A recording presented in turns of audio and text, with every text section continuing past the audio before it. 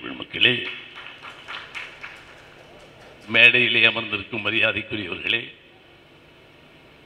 தொலைக்காட்சி அன்பர்களே படம் பார்த்து அதிர்ச்சியில் அமர்ந்திருக்கும் சகோதர சகோதரிகளே பத்திரிகை அனைவருக்கும் வணக்கம்.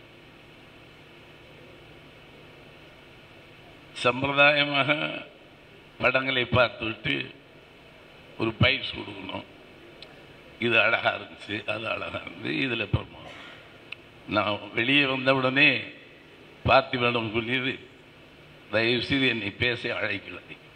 காலையில் எட்டு பக்கத்தில் உனக்கு ஒரு கடிதம் வரும். பயிற்சி தனியாக கொடுக்குறேன். அப்படின்னு சொன்னேன். சம்பிரதாயம் நீங்கள் வரணும் தானே சரி. இருந்தாலும் சுருக்கமாக நான் சொல்லிட்டு விரிவாக விளக்கமாக உன்னோட தனியாக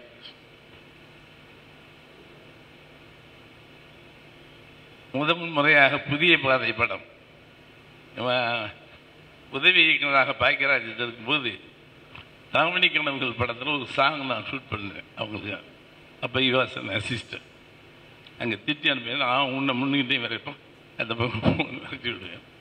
அதுக்கப்புறம் one fine morning came with invitation நான் ஒரு படம் பண்ணுறேன் அப்படியா? புதிய பாதை.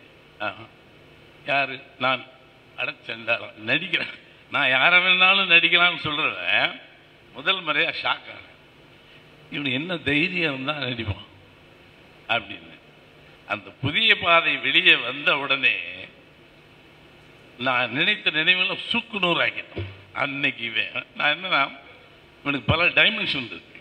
எப்பவுமே சொல்லுவேன் நீ இருக்க வேண்டிய இடத்துல இந்த திரையுலகம் உன்னை வைக்கவில்லைன்னு சொல்லுவேன். நீ இருக்க வேண்டிய உயரம் வேற.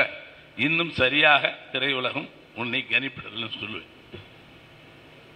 பல்வேறு விதமான உருவ அமைப்பில் வரும். ஒரு களிமண் தான். இப்படி ஒரு பொம்மை வரும். அடுத்த இடம் பார்த்தா ஒரு மாதிரி வித்தியாசமாக இருக்கு. பரவாயில்லையேன்னு ஒரு நாள் கைதவறி கீழே விட்டான்.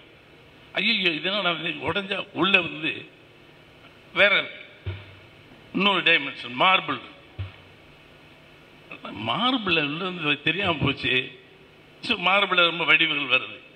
இது வருது அது வருது எத்தனையோ அந்த மார்பிள் ஒரு நாள் கீழே விழுந்துச்சு. உடஞ்சா உள்ள வைரம் இருக்கு. இதான் மார்பிள் உடஞ்சி இப்போ வைரம். ஐம் சாரி ஏன்னா தெர் இஸ் நோ வேர்ட்ஸ் இதை சும்மா சம்பிரதாயத்துக்கு வேண்டி சொல்கிறதில்ல இதுவரைக்கும் தமிழ் துறையில் ரொம்ப மாற்றங்கள் வந்திருக்கு. திசை மாற்றங்கள் வந்திருக்கு. எவ்வளவோ வரும் சிறிதர் காலம் எல்லாம் பாக்கியராஜோட இஸ் ஃபஸ்ட் டைம் தமிழ் திரைப்படத்தில் உலகை தன் பக்கம் திரும்பி எல்லாம் சொல்லுவாங்க.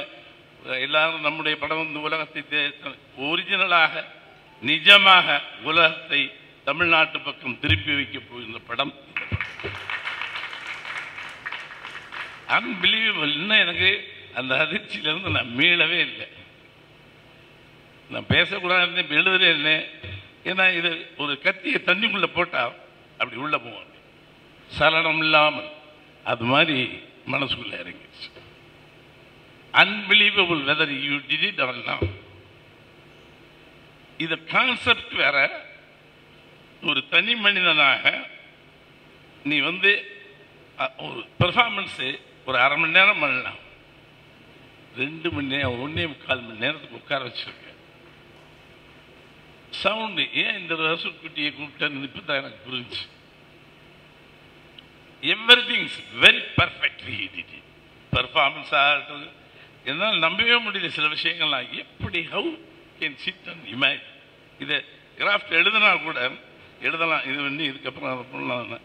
பட் நான் யோசிச்சு யோசித்து பாடுறேன் என்னால் கற்பனையே பண்ண முடியும் காட் பிளஸ் யூ எல்லாம் நிறைய படங்கள் வந்து இந்த இளைஞர்கள் ரொம்ப பிரமாதமாக வந்துட்டாங்க இன்னைக்கு. பட் எல்லாத்தையும் தூக்கி சாப்பிட்டு ஒன்றை போயிட்ட. ஹேட்ஸ் ஆஃப் டு யூ எனக்கு சொல்ல தெரியல. தனியாக உங்கள்கிட்ட பேசுவேன் ஒரு கடிதம் எழுதுகிறேன். தனியாக ஒரு பயிற்சி கொடுக்குறேன். உனக்கு செய்ய வேண்டியதுதான். நான் ஏற்கனவே உனக்கு பலமுறை சொல்லியிருக்கேன். நீ இருக்க வேண்டிய இடத்தில் திரையுலகம் உன்னை வைக்கவில்லை.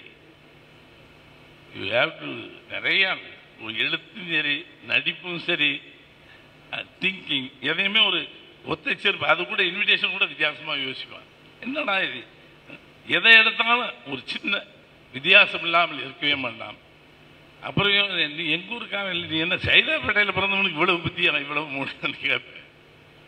Hats off you got bless you there is no words you are தமிழ்நாட்டை எல்லாரும் தமிழ்நாடு பக்கம் தலை எல்லா எல்லா தலைகளும் திரும்பிச்சுன்னு சொல்லுவாங்களே இந்த படம் தான் உலக மக்களை தமிழ்நாட்டு பக்கம் திரும்ப வைக்கும். நன்றி வணக்கம்.